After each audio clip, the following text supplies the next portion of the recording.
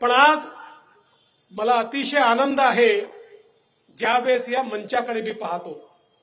आणि प्रफुल्लबाई म्हणाले खरंय वर्षानुवर्ष इथली लढाई ही प्रफुल्लबाईंसोबतच आपली होत होती.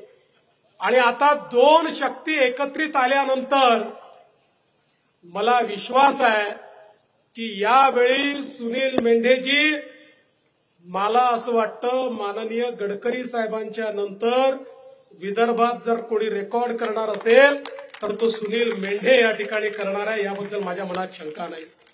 कारण आता भाजप आहे शिवसेना आहे राष्ट्रवादी आहे रिपाई आहे आमचे आठवलेजी आहेत कवाडे सर आहेत आमचे जयदीपजी कवाडे यांनी अतिशय सुंदर या ठिकाणी भाषण केलेलं आहे.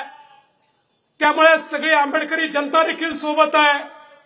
आणि एवढंच नाही तर अठरा पगड जातींना सोबत घेऊन या ठिकाणी मोदीजींच्या नेतृत्वात आज आम्ही मैदानामध्ये उतरलो आहोत. आणि मला या मनात माझ्या कुठलीही शंका नाही की चारसो पारमध्ये भंडारा गोंदिया अग्रक्रमाने त्या ठिकाणी आपल्याला पाहायला मिळेल.